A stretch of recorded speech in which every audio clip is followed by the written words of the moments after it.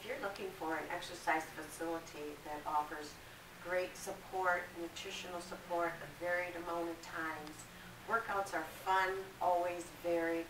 The coaches are excellent. They provide motivation and modification. You'll see great results.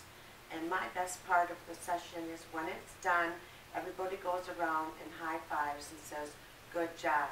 Come in, try your week for free, I'm sure you'll love it and want to join.